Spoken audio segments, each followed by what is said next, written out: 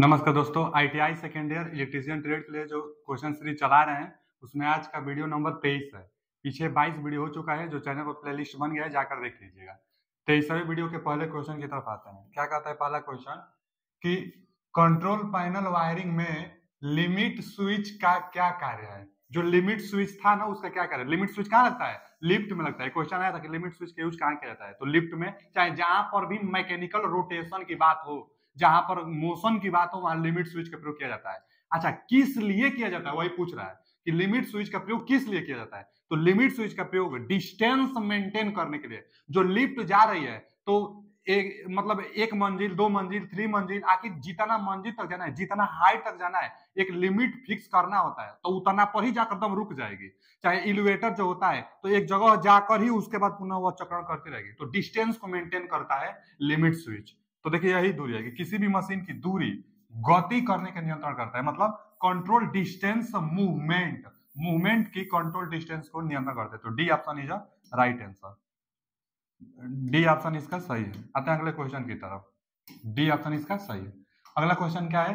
कि एसी प्रतिरोधक और प्रेरक भार मतलब क्यों चाहिए रजिस्टिव और इंडक्टिव दिया होगा ना कि कंटेक्टर आप starting and stopping the AC AC resistive and inductive तो इंडक्टिव एसी में ही बनता है तो AC AC resistive and inductive में कंटेक्टर स्टार्टिंग के लिए कोड क्या है और कौन सा कोड तो स्टैंडर्ड ड्यूटी साइकिल कोड तो इसके लिए ना एसी टू यह कोड है, इसको याद करना पड़ेगा आपको तो बी ऑप्शन इसका सही है। ये किसका कोड है और किस चीज़ का कोड है? तो स्टैंडर्ड ड्यूटी साइकिल कोड है, किसका है? तो एसी रजिस्टिव और इंडक्टिव कंटेक्टर के लिए। क्या है? तो B option A C two code है इसका। आते अगले क्वेश्चन की तरफ़। स्वचालित स्टार डेल्टा स्टार्टर मतलब स्टार डेल्टा जो स्टार्टर होता है ना, एक तो मैनुअल भी होता है, और यह क्या है? ऑटोमेटिक स्टार डेल्टा स्टार्टर तो ऑटोमेटिक स्टार डेल्टा स्टार्टर के संचालन के लिए संयोजकों के सही अनुक्रम का संचालन कौन सा है? मतलब पूछ रहा है ना कि हुई द करेक्ट सीक्वेंस ऑपरेशन आप contactors of operation automatic star delta starter automatic star delta starter जो संचालित होते हैं तो उसका सही सीक्वेंस क्या है? तो उसमें तीन तीन होता है ना कॉन्टेक्टर तो वही पूछा है कि किस क्रम में होते हैं? तो पहले तो स्टार में होता है, और लास्ट में डेल्टा में होता है। तो पहले स्टार में लास्ट में डेल्टा अब पहले स्टार लास्ट में डेल्टा ये दो तो ये दोनों तो होगा नहीं। अब स्टार डेल्टा तो क्या करता है कि जो टाइमर होता है वह एक निश्चित टाइम की गई होती है, उसके बाद आपको डेल्टा में कन्वर्ट कर स्टार डेल्टा में डेल्टा में कन्वर्ट कर देता है। एक निश्चित टाइम के बाद। अब पहले जो सप्लाई जाती है मेन में जाती है तो पहले मेन में जाती है, उसके बाद टाइमर अपना काम करता है, डेल्टा में कन्वर्ट कर देता है। इसलिए B option is right answer मतलब स्टार मेन फिर टाइमर फिर डेल्टा तो B option is right answer manual star delta starter जो ऑटोमेटिक स्टार डेल्टा स्टार्टर था, उसमें। अगला क्या है? कि नियंत्रण ट्रांसफार्मर के साथ नियंत्रण पट क्यों प्रदान किया जाता है? मतलब control panel are provided with control transformer तो एक अलग से कंट्रोल पैनल क्यों लगाए जाते हैं कंट्रोल ट्रांसफार्मर में? तो एक्जेलरी कंटेक्टर को मतलब सहायक जहाँ इक्विपमेंट कुछ यूज़ करना है उसके लिए। तो दे, दिया गया है कि सहायक सर्किट संचालित करने के लिए। मतलब जो कंट्रोल ट्रांसफार्मर होती है, उसमें एक एक्स्ट्रा से कंट्रोल पैनल क्यों लगाई जाती है? तो क्योंकि मतलब to operate the auxiliary circuit सहायक सर्किट को ऑपरेट करने के लिए लगाई जाती है। तो B option is right answer अगला क्वेश्चन क्या है? क्या होता है? अगर एक ऑटो फिर आ गया ना ऑटो मतलब जो ऑटोमेटिक स्टार डेल्टा स्टार्टर है। ऑटो स्टार डेल्टा स्टार्टर को शुरू होने के बाद टाइमर डिले रिले बंद हालात में हो। तो शुरू होने के बाद बोला है, पहले तो एकदम स्टार्टिंग में तो पहले तो स्टार में रहता है। जब शुरू हो जाता है तो डेल्टा में हो जाता है। लास्ट में डेल्टा भी क्वेश्चन आया था। लेकिन जब स्टार्ट हो गया है, तब टाइमर डिले रिले जो है वह बंदे अवस्था में है। टाइमर डिले रिले ही है कि वह मतलब सीक्वेंस को चेंज करता है। स्टार चाहे डेल्टा में वही लाता है। टाइमर डिले रिले ही जब शुरू हो गया है ना तो बंद हालात में हो बंद हालात में है वह तो बंद हालात में जब है शुरू होने के बाद तो फिर डेल्टा में ही ना रहेगा। तो हमेशा डेल्टा में ही रहेगा। तो run delta only D option is right answer तो डी ऑप्शन जब स्टार्ट हो गया है टाइमर डिले डिले बंद हो गया है तो फिर डेल्टा में है वो स्टार्टिंग के टाइम पूरा स्टार्ट जब हो गया है तो, तो वही डेल्टा में पड़ा रहेगा। आगे एक कंट्रोल पैनल वायरिंग में पीवीसी चैनल का क्या उपयोग है? कंट्रोल पैनल वायरिंग में पीवीसी चैनल जैसे केपिंग केसिंग जो होता है ना, वो घरों की वायरिंग केपिंग केसिंग ठीक उसी तरह से यह भी चैनल है वो क्या दिया है फिर देख लीजिए पीवीसी चैनल पीवीसी चैनल अब क्या होता है जैसे केपिंग केसिंग होता है, ठीक दीवालों पर वायरिंग की जाती है और उसमें वायर को पाथ प्रदान किया जाता है। जिधर जिधर आपको ले जाना होता है, उधर उधर मोड़ कर आप ले जाते हैं। तो वायरों को पाथ प्रदान करता है ना, जब ठीक उसी तरह पीवीसी चैनल काम करता है। तो क्या कहता है, बिजली के तारों और सुरक्षा के लिए रास्ता देता है। सुरक्षा भी प्रोवाइड कराता है, उसके अंदर आता है तो बिजली के तार को अब पाथ भी प्रोवाइड कराता है, रास्ता भी देता है। तो वही है एकदम पीवीसी चैनल तो path way for electrical wiring and protection protection भी देता है और रास्ता भी देता है। तो इसलिए सी ऑप्शन सही था। अगला क्वेश्चन क्या है कि नियंत्रण पट में, फिर आ गया कंट्रोल पैनल में थर्मल ओवरलोड रिले का क्या कार्य? तो जो थर्मल ओवरलोड रिले होता है वह क्या? ओवर हीटिंग और ओवरलोडिंग से बचाता है। थर्मल टेम्परेचर से रिलेट है। तो ओवर हीटिंग और ओवरलोडिंग से, कौन सा बचाता है तो थर्मल रिले। तो देखिए, thermal overload relay over protection और ओवर लोडिंग से बचाता है। तो D option is right answer. अगला क्वेश्चन क्या है? औद्योगिक अनुप्रयोग में मोटर्स के सिक्वेंशियल, देखिए दिया है ना यहाँ, सिक्वेंशियल कंट्रोल, यानी अनुक्रमिक नियंत्रण। सिक्वेंशियल कंट्रोल की आवश्यकता क्यों होती है? औद्योगिक तो देखिए सिक्वेंशियल की आवश्यकता क्यों क्योंकि आउटपुट आपको सटीक मिले एक्यूरेट मिले आउटपुट सिक्वेंशियल सर्किट का मतलब क्या? कि क्रमवार कोई भी काम हो अपने नियत समय से। तो सटीकता बढ़ेगी ज़्यादा। आप मैनुअली करेंगे तो शायद उतना टाइमली आप नहीं कर पाएँगे। लेकिन जब सिक्वेंशियल सर्किट होता है तो एकदम टाइमली वह काम करता रहता है। तो सटीकता बढ़ेगी आपकी। तो वही पूछा है कि सिक्वेंशियल सर्किट का जो मोटर है, उसमें क्यों रिक्वायर्ड होती है? जो इंडस्ट्रियल एप्लीकेशन होता है, उसमें सिक्वेंशियल सर्किट क्यों आवश्यक होती है? क्योंकि सटीकता बढ़ाने के लिए। एक्यूरेसी बढ़ाने के लिए। तो दिया है ना एक्यूरेसी इंक्रीज एक्यूरेसी तो D option is right answer accuracy increase करने के लिए सिक्वेंशियल सर्किट का प्रयोग की जाती है। अगला क्वेश्चन क्या है? किस सामग्री का उपयोग? खुले फ्रेम के द्विधात्विक समायोज्य थर्मोस्टेंट संयोजकों को बनाने के लिए किया जाता है। मतलब पूछ रहा है ना कि which material use to make open frame by metallic adjustable thermostat contact जो कॉन्टेक्ट पॉइंट होते हैं ना, उन पर सिल्वर का लगाया जाता है। क्यों अब सिल्वर धातु लगाई जाती है?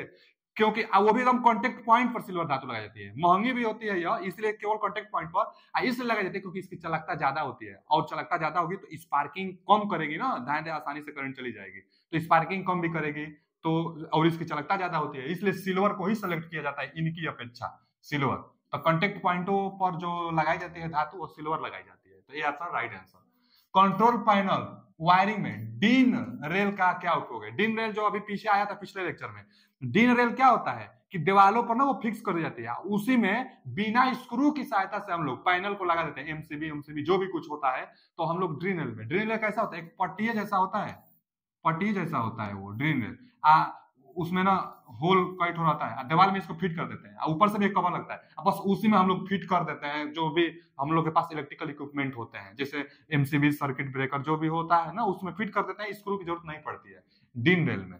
तो वही पूछा डीन रेल का क्या उपयोग है? तो स्क्रू के बिना नियंत्रण सामग्री लगाने में D option is right answer screw के बिना नियंत्रण सामग्री। नियंत्रण सामग्री मतलब एमसीबी एमसीबी जो भी हो। तो स्क्रू के बिना नियंत्रण सामग्री ड्रिल में लगाने के लिए प्रयोग की जाती है। तो D option is right answer अगला क्वेश्चन क्या है? कौन सी डिवाइस सिक्वेंशियल देखिए, फिर आ गया ना सिक्वेंशियल कंट्रोल देखा सिक्वेंशियल कंट्रोल सिस्टम में संचालन को नियंत्रित करती है। तो टाइमर जो होता है ना, यही नियंत्रण करेगा। कैसे करेगा? हम अभी बताए थे ना कि जो इंडस्ट्री होती है, उसके एप्लीकेशन के लिए सिक्वेंशियल कंट्रोल सर्किट लगाई जाती है। अब क्या होता है सिक्वेंशियल कंट्रोल सर्किट में? कि एक नियत टाइम पर फिर से दोबारा काम स्टार्ट कराना होता है। तो टाइमर में महान होगा। टाइम एक नियत टाइम पर मतलब कुछ काम हुआ, फिर नियत टाइम पर वही काम होते रहे और स्वयं होता रहे ऑटोमेटिक होता रहे। तो टाइम बहुत मायने है। जो टाइमर होता है ना, वही सिक्वेंशियल कंट्रोल सिस्टम में काम अपने भूमिका निभाता है। तो टाइमर टाइमर भूमिका निभाता है अपना। तो A option is right answer sequential circuit के लिए। अगला क्वेश्चन क्या है? कौन सी डीसी लोड संपर्कताओं के डीसी फोर मानक कर्तव्य, फिर आगे वही, एक यह कोड है। तो डीसी फोर मानक कर्तव्य मतलब ड्यूटी चक्र कोड द्वारा दर्शाया गया है। दिया क्या है? मोटर लोड को छोड़कर प्रतिरोध Bharat starting and stopping of shunt motor starting and stopping of series motor और starting and stopping with inching and braking तो ये भी नहीं होगा और स्टॉपिंग एंड संट मोटर भी नहीं होगा और ये भी नहीं होगा। यही ऑप्शन सही है series motor starting and stopping of series motor C option is a right answer आते हैं अगले क्वेश्चन की तरफ़। अगला क्वेश्चन क्या है? कंट्रोल पैनल वायरिंग में उपयोग किए जाने वाले नियंत्रण ट्रांसफार्मर का क्या उपयोग है? फिर आ गया नियंत्रण ट्रांसफार्मर कंट्रोल पैनल तो वही एक्जेलरी के लिए देख लेते हैं विकल्प। नियत टर्मिनल वोल्टेज बनाए रखने के लिए नहीं, सहायक, आ गया ना? सहायक सर्किट को बिजली आपूर्ति करने के लिए तो यही बी ऑप्शन सही है।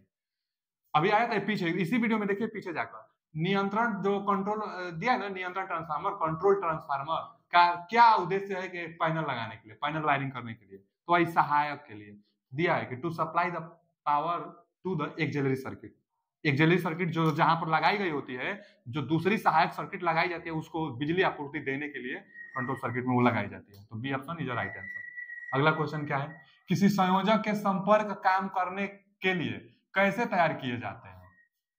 How the contact in contactor can be engage for working मतलब किसी संयोजक के संपर्क का काम करने के लिए कैसे तैयार किया जाता है? मैनुअल मैनुअल ऑपरेशन द्वारा कि यांत्रिक से, सेटिंग द्वारा कि स्थिति को बदल बदलने के लिए विद्युत चुंबक संचालन के द्वारा और बाय यूजिंग बाय मेटेलिक तो देखिए ना electromagnetic to change the position अब कैसे क्या करना चाहता है कि जो कंटेक्ट होता है कंटेक्ट इन कंटेक्टर तो जो कॉन्टेक्टर होता है उसमें जो कॉन्टेक्ट बनाता है इलेक्ट्रोमैग्नेटिक फ़ील्ड के कारण बनाता है। तो वही तो electromagnetic to change the position electromagnetic का पोजीशन चेंज होगा तो वही जो कंटेक्ट पॉइंट होगी कंटेक्टर में का, वो भी चेंज हो जाएगा। तो मैग्नेटिक के कारण इलेक्ट्रोमैग्नेटिक के कारण वो पोजीशन चेंज करता है।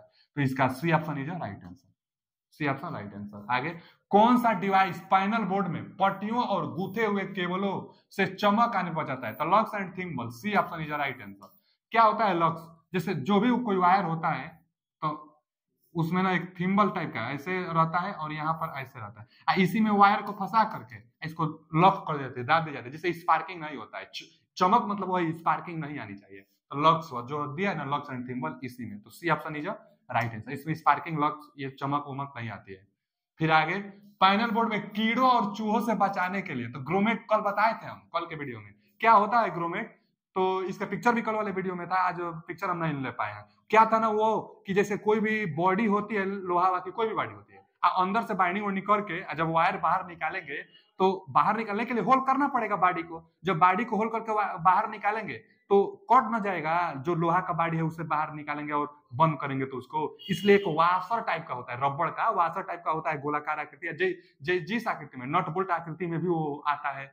लक्स की आकृति में भी वो आता है ग्रोमेट तो उससे वायर बाहर निकाल लेते हैं, जिससे कटे ना बॉडी से हमारा वायर कटे कट ना पाए। तो ग्रोमेट उसी को कहते हैं रबड़ का वासर टाइप का होता है, जिससे वायर बाहर निकल जाएगी, वायर कटेगा नहीं। तो वही बाई यूजिंग ग्रोमेट, कीड़ों चूहों से बचाने के लिए, अब रबड़ लगा देंगे वासर फिक्स कर देंगे तो अंदर नहीं जा पाएँगे तो चूहा कीड़ा से बच जाएगा आपका।